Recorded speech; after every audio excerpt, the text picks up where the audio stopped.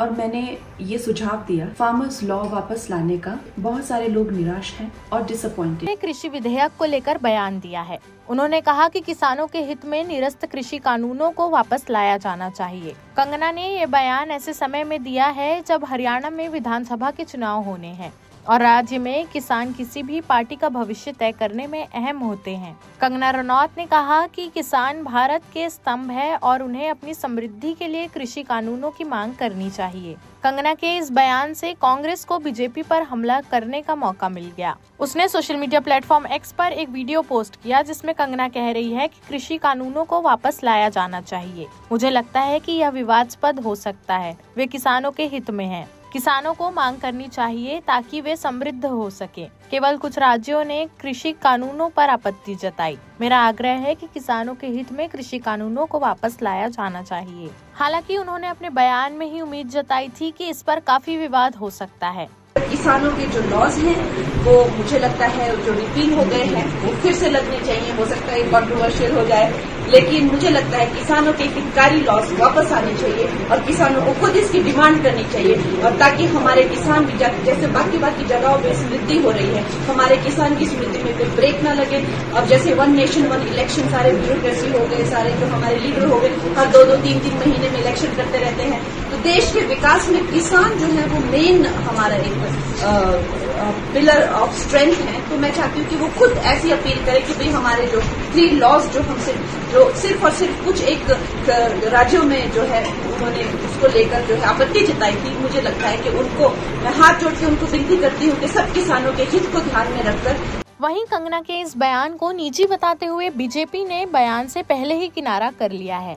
Party के प्रवक्ता गौरव भाटिया ने कहा कि बीजेपी उनके बयान का समर्थन नहीं करती है। कंगना पार्टी की ओर से ऐसा बयान देने के लिए अधिकृत नहीं है। उन्होंने कहा कि बीजेपी उनके बयान की निंदा करती है। बीजेपी प्रवक्ता ने कहा कि सोशल मीडिया प्लेटफॉर्म पर कंगना रनौत का केंद्र सरकार द्वारा वापस लिए गए कृषि बिलों पर दिया गया बयान वायरल हो रहा है। मैं साफ़ कर देना चाहता हूँ कि ये बयान उनका निजी बयान है। कंगना रनौत बीजेपी की ओर से ऐसा बयान देने के लिए अधिकृत नहीं है। हम इस बयान की निंदा करते हैं। तमाम सोशल मीडिया प्लेटफॉर्म्स पर कंगना रनौत जी, जो कि भाजपा की सांसद नेत्री हैं, उनका एक बयान तीन कृषि कानूनों को लेकर, जो कि पहले वापस लिए गए थे, चल रहा है। मैं बिल्कुल स्पष्टता से कहना चाहता हूँ, ये बयान कंगना रनौत जी का व्यक्तिगत बयान है। एवं भारतीय जनता पार्टी की तरफ़ से ना कंगना रनौत जी ऐसा कोई बयान देने के लिए अधिकृत है और ना ही उनका बयान, जो पार्टी की सोच है, तीन कृषि कानूनों को लेकर उसको दर्शाता है। इसलिए उस बयान का हम खंडन करते हैं।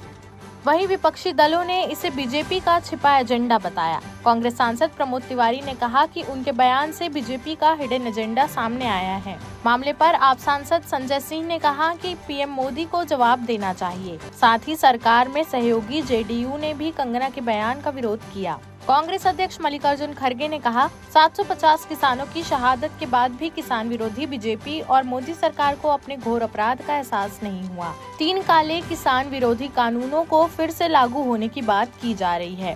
कांग्रेस पार्टी इसका कड़ा विरोध करती है।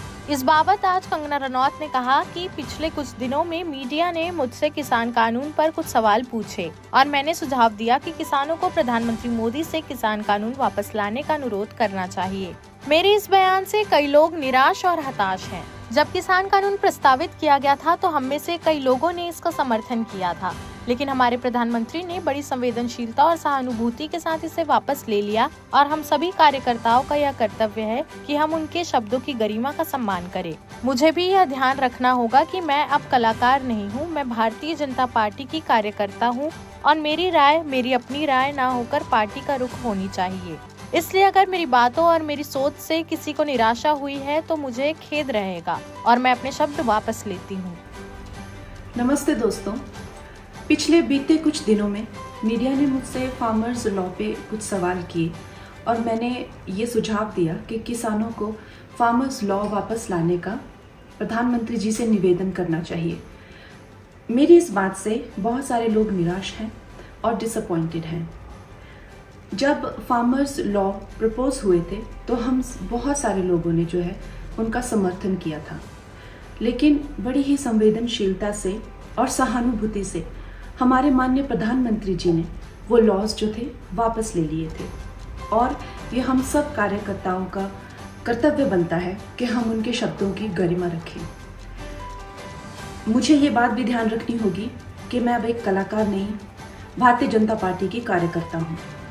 और मेरे ओपिनियंस अपने नहीं होने चाहिए, वो पार्टी का स्टैंड होना चाहिए। तो अगर मैंने अपने शब्दों से और अपनी सोच से किसी को डिसअपॉइंट किया है, मुझे खेद रहेगा।